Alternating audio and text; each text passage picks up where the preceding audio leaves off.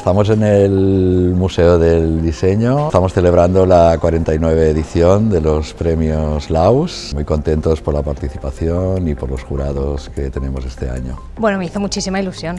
Los Laus, me encanta. Me trae muchos recuerdos y era como siempre un intríngulo de saber quién va a ganar este año. Claro, pensar que ahora estoy aquí de jurado, pues es como que me hace mucha ilusión.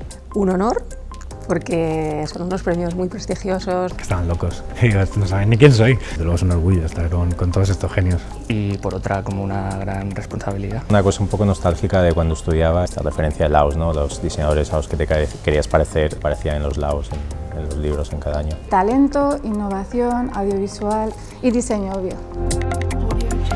Cuando yo, hace años, ¿no? cuando estaba en la uni o cuando salí de la uni, no era como, pero ¿cómo se hace esto? ¿no? Habrá aquí, yo qué sé, tejemanejes o cosas, que va, que va, es súper estricto. Bueno, primero que es un currazo que se hacen de ponerlo todo ahí encima, que hay como 1200 piezas. Hoy hay simultáneamente cinco jurados, cada uno de ellos tiene un chairman que ayuda a los procedimientos que consisten en varias rondas de votaciones. Podemos votar tantos bronces como queramos, después pasamos al plata, que se seleccionan esos bronces y solo damos tres en cada categoría, y después de los platas damos un oro, nada más. There's obviously multiple people on this jury and everyone has their own perspective. And then you get a more complete, holistic judgment. It'd be interesting to see what their arguments are as well and yeah, and put through my point of view. Muy fácil que surja este debate ¿no? y poder entablar una conversación sobre una pieza si merece un premio o no.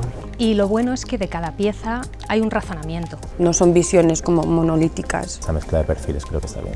Hay mucho trabajo detrás, es la temporada alta, digamos, culminan muchas cosas, pero al mismo tiempo es muy excitante. Es como un premio al trabajo. El retrato de un año. Wish we had something like this in the UK. Son los premios históricos relacionados con, con Barcelona, pero que se han ido extendiendo. Una entidad que gusta que esté ahí y que queremos que, que continúe en el, panorama porque además activa muchas cosas. Igual es como un poco pretencioso, creo que eh, actualmente son como los premios más importantes de diseño a nivel nacional y por lo que estoy viendo hoy los quizá los más serios.